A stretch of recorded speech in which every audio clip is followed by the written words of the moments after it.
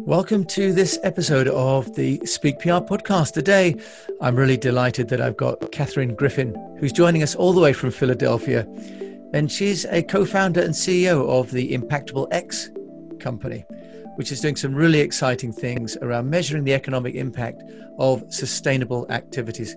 Catherine, welcome to the Speak PR podcast. Thanks, Jim. It's great to be here. Can you just give us a bit of history about Impactable X. What are you doing and helping companies to identify the impact that they're making? I was the managing director at an accelerator for early stage social entrepreneurs called Good Company Ventures.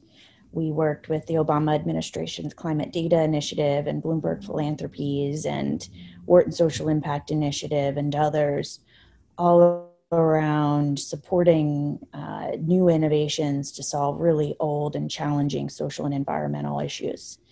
And um, over the course of that time, so many of the founders were really grappling with how to verify and validate their uh, aspirations for impact, um, how to differentiate themselves in front of investors, uh, impact and you know traditional venture tech investors, um, and how to really sort of um, legitimize what what were otherwise anecdotal um, experiences of impact on final beneficiaries. And so we, we looked around at some of the other approaches to impact quantification and verification and found that they really applied to later stage companies, corporations really. Um, and they evaluated, you know, supply chains and operational footprint as opposed to uh, measuring you know the products and services of a company. Uh, and they were also strictly retrospective. Um, the entrepreneurs we we work with were really grappling with a way to um, engage investors around their potential right? They have new innovations. They can solve massive challenges and they need to engage investors around that possibility. And so we needed an approach to impact quantification that captured that future potential. And so it was really out of this personal experience with entrepreneurs and you know seeing their um, real struggle with this issue uh, for years you know among hundreds of entrepreneurs that we developed an approach to uh, quantifying social impact and projecting it uh, over a given term just talk us through mm-hmm. what, what's the real mechanics behind the system? You know, so many entrepreneurs, I think, struggle with the data piece, especially on the social side, uh, which often uh, is viewed as quite subjective or anecdotal, as I mentioned before. Um, and so, what we do with uh, our founders is we operate on a unit level. So, we take a unit of sale, think of one thing sold um, or one buyer sold to, and uh, identify the impact on a unit level. Um, and where a company is lacking primary data, which is often the case with startup companies, we are able to draw from comps, from comparables, from other companies that are doing similar things, and the and the uh, efficacy that has been proven there, or through third party research that says this kind of an innovation can do uh, or generate this kind of impact. But generating that impact on a unit level really makes it much more manageable. Uh, we have a three step process. It's very simple, it's very straightforward. First step, we define the metrics. So, take, for example, a ton of carbon uh, as the first impact metric. Then in the second step, we identify the unit level impact. So for each thing sold, how many tons of carbon are abated or saved, or um, in one case from a current client, actually pulled from the atmosphere to generate a new product. Uh, so it's we relate a unit of sale to a unit of impact. And by operating on a sort of individual basis, we then uh, allow entrepreneurs to have a dynamic future looking projection because if we know the impact of one thing sold, then we know the impact of 50 or 100 or 10,000 things sold over the next five or 10 years. So, what would be some of the um, the kind of models that you're running for companies? Can you give us a, a case study? You mentioned one company that's extracting, uh, you know, carbon from the from the atmosphere. Can you talk us through a case study? Absolutely. So we had a company um, uh, that participated in a, a, project with Bloomberg Philanthropies in the city of Philadelphia and Wharton Social Impact Initiative. Um, and it was addressing recidivism. And uh, the, the company has now gone on to do incredible things. But when he worked with us, he was still just very new. And uh, the idea was that by selling certain types of uh, tablet technologies into prisons with educational content built in, they could reduce the likelihood of recidivism of an inmate returning to prison within a certain period of release. And when we worked with him, it was sort of this theory. Um, and so, step one, we identify his core metrics. For him, it was reduced three year reincarceration rate and sustained employment one year post release. Then, in the second step, we talk about that unit level impact. So, here we're talking about a prison. So, we looked at how many prisons he expects to sell to over the next five years, uh, how many prisoners in average are in each prison, how many active users then per prison will use his product, and then of those, how many will be released over a given period um, and won't return to prison uh, based off of what the research says. And tr- sure enough, um, you know, uh, the Rand Corporation had recently published a report that said that this type of educational content can reduce the likelihood of uh, returning to prison by uh, quite a substantial percent. And we typically like to uh, discount that percentage just to really engage um, stakeholders and uh, operate as conservatively as possible. Um, and so now we have uh, a rough number of, of prisoners who, based off of the research, won't return to prison to that one prison over the over a given term. And so we can then apply that across all of the prisons that he expects to sell to over the next five years. And we get a total number of prisoners who, based off of the research, won't return to prison within a given within the next five years. So that's an impact output or KPI. Then in the third step, we look at economic valuation of impact, uh, which is something you and I have talked at length yeah. about. And this is where we look at uh, new value created and costs avoided as a function of the impact. And so here we looked at what it costs a state every time an inmate is released and returns to prison within mm-hmm. a period of time. It's expensive. I mean, the costs to the state are astronomical. And so again, we we often even discount it uh, and look at averages over the over the entire country. Um, but we're able to multiply then this economic value of one prisoner returning to prison within three years of release by the number of prisoners that the research says will be impacted by this technology over the same period of time.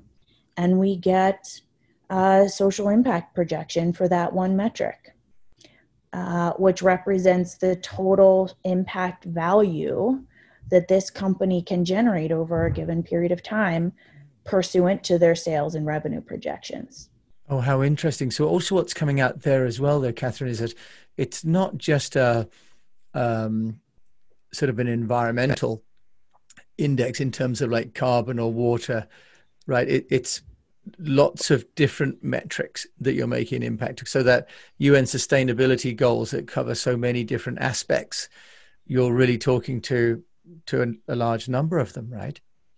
That's right. That's right. So so this gets into a little bit of the theory behind our approach yeah. which is social entrepreneurs are solving massive problems. And by solving massive problems they create massive value. But they can only monetize a portion of that value that they create. And so if you just look at a company's revenue model, you're missing all of that additional value that they're creating. And so our approach really tries to capture all of that external value, whether that value is experienced by the buyer or whether it's experienced by the commons um, we try to capture that value. And so that can be social or that can be environmental. Um, and so that's why really getting clear on what the metrics are in that first step. And yes, aligning with global standards like the Impact Management Project, IRIS Plus, uh, and notably the Sustainable Development Goals, uh, their indicators and targets as well, um, is so important because it's not standardized and the kinds of impact that different innovations in business models and technologies can have should really be acknowledged, I think, on a case by case basis, even though they can roll up into more sort of general categories or impact verticals. If there's a business owner out there, what are they what are they getting? Do they come and engage Impactable X and get a software in a box? Do they get consultancy? Absolutely, yeah. So when we work with a founder, we start by uh, having that conversation about their company's uh, impact metrics and we understand their business model.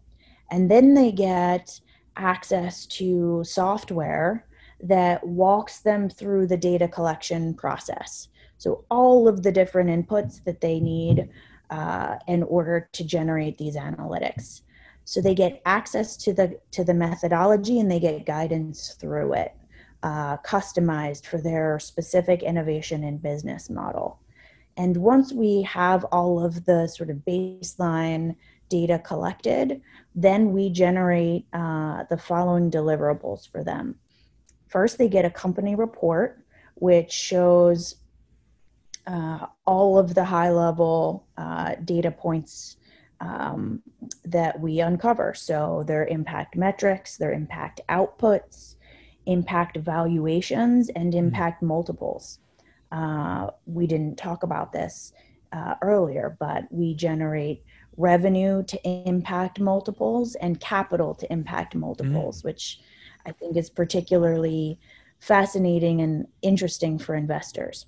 So we generate a company report that has all of that clearly laid out. Uh, that's also supported by a data validation page, which essentially shows all of our work, our assumptions, if we make any calculations, citations, etc.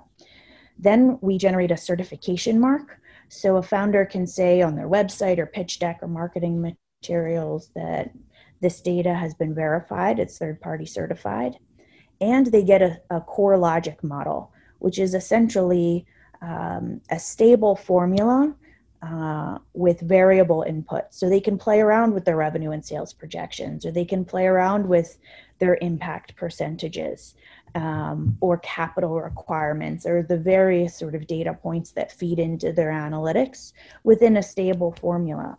Uh, so that allows them to be, you know, startup founders to play around with their assumptions and uh, expectations of how their business will grow over time. Um, and then from there, we we check in with founders every three year every three months, just to make sure that their data is tight. Um, if they've pivoted, we we update their analytics.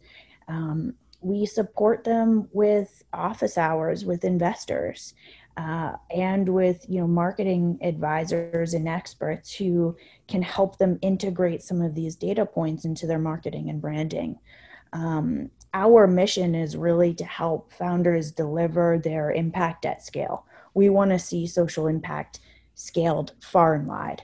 And so we really want to provide all of the value, um, practical and theoretical, uh, that can help them do that. And we think that impact data is the right place to start. What has been the the response from the VC or the finance community to the Impactable X offering and formula? So, uh, increasingly, impact investors are beginning to really require impact data.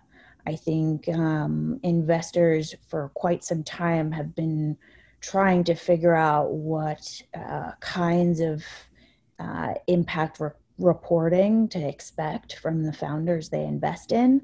Uh, and they're very wary about placing undue burden, et cetera. And so they love that this is so streamlined. Uh, this is intended to take um, a couple of weeks to a month, right? This is not intended to be a life cycle assessment. Um, you know, it's not intended to take years and require piles of pl- primary mm. data. Um, so they absolutely love that. It also streamlines um, ongoing impact reporting. So once we certify the relationship between revenue and impact, then impact reporting becomes a function of financial reporting, which they're doing already. Uh, and so it really streamlines the whole process. Um, and they love that there's third party validation as well. Um, it adds a, a, degree of credibility and legitimacy uh, to, to the impact claims of entrepreneurs. So um, the other piece here is that by converting it into a dollar value, uh, it, it allows impact uh, to in, to integrate into traditional fund management practices so investors can actually understand impact performance against financial performance and they can see what kind of stake what kind of ownership stake they and their lps have in the impact generation of their portfolio companies so it just ge- generates tremendous new insights for investors yeah. uh, while also offering a really user friendly um, uh, you know approach. So it's and been resounding uh, the reception. Wonderful. I can understand why as well having done ir work for clients uh, and a listing before. Can you tell us a little bit about who can afford this? What does it cost to to, to ring catherine and have you help figure out their impact? You know we we we don't want the cost to be a barrier uh, to entry for founders to build um, social impact projections. And so we've priced base certification at 995 US. Oh wow. Uh, and that, that that provides access to the methodology, guidance through it, and the deliverables that I mentioned earlier. Uh, there's additional services that we can offer to support founders uh, with research, with data collection, et cetera. Uh, but that base certification uh, is really priced uh, accessibly for founders. Catherine, sounds amazing. Impactable X, where can people find out more about you? Sure. So you can find me on LinkedIn or visit us online at www.socialimpactprojection.org. Wonderful. That's quite a quite a mouthful that URL. So I'll put that in the show notes. So thank you, Catherine, so much for joining me. I know that uh, you're a very busy lady, so thanks for making time uh, to share what you do with the Impactable X. It's been a real pleasure, Jim. Thank you so much. Great. Well, you've been listening to the Speak PR podcast, which is a show for entrepreneurs and business owners who want to unlock the value in their businesses through better communication. And it sounds as though measuring your social economic impact is really one of the best ways to do that. So, and so with that, I'd like to just thank Catherine Griffin again. That's socialimpactprojection.org. And in the meantime, I wish you the best of health, a profitable business, and that you keep on communicating and measuring your impact on your world.